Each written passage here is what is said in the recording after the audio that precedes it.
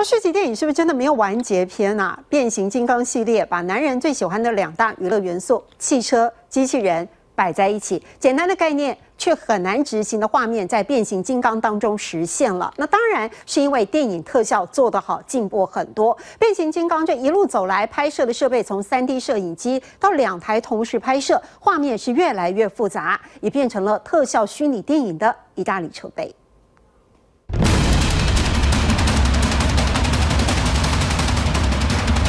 每隔两到三年就能看到新的变形金刚系列电影。Without sacrifice, there can be no victory. 二零一七年六月推出的第五集，一向是正派角色的柯博文，预告里却攻击同伴大黄蜂，让粉丝看得好心惊。Forgive me. 不论变形金刚怎么变，主体就是从汽车变成高大的机器人。最早由玩具公司孩之宝改编成漫画，八零年代动画出炉，是许多男人的共同回忆。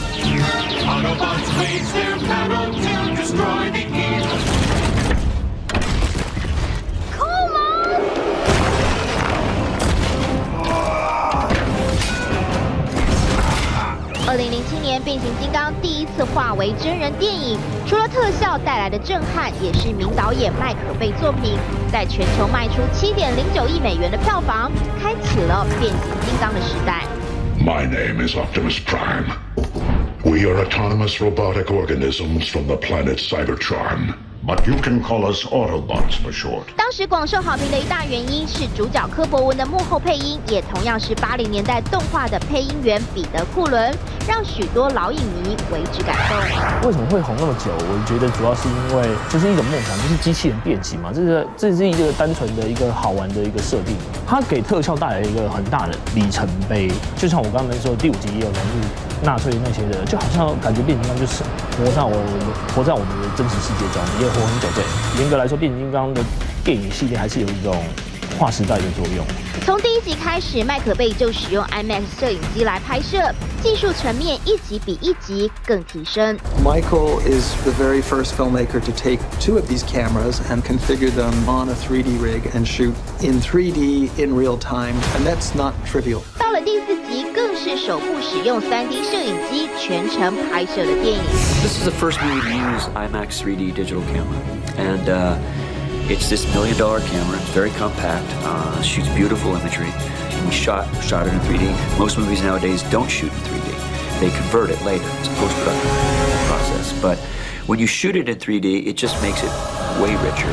经历十年五集系列电影，陪着许多影迷共同成长，当时也捧红了男女主角。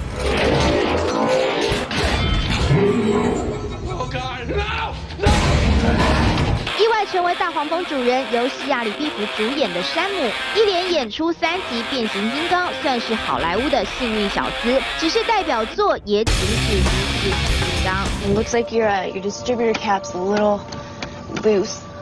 How'd you know that? Uh, my dad, he was a he was a real grease monkey. 还有梅根·福克斯也因为在变形金刚首集亮相，帅气性感形象深植人心，一连演出两集，知名度大涨。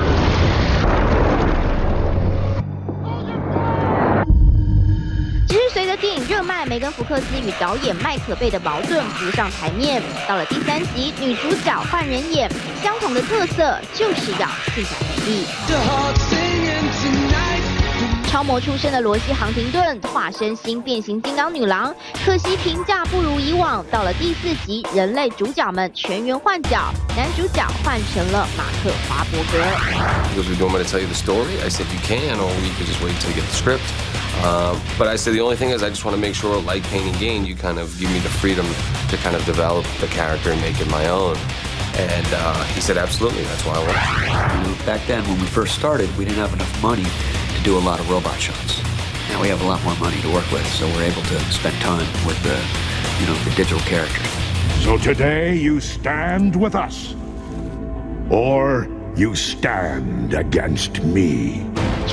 主角换人，还有大量的中国元素加入，包括香港场景就有重要戏份。许多香港电影的取景设定，他运用旧楼群，马克华伯格在这里与坏人对决，或是恐龙金刚的现身，都让许多香港观众倍感熟悉。让华人观众们印象深刻的还有李冰冰，冷艳的帅气形象现身，戏份也多，稍稍摆脱中国演员到好莱坞跑龙套的印象。It gets crazier and crazier than every day we go on. 第五集释放了花絮中，来到英国知名的巨石阵取景，除了男主角马克华伯格曾经演出前三集的乔许杜哈默也回锅，还有加入影帝级的安东尼霍普金斯，女主角则换成了十五岁的伊莎贝拉莫娜，不仅在片场过生日，还会逗趣模仿马克华伯格。He's like a man, you know. He like. Wait, one more time. Show me that.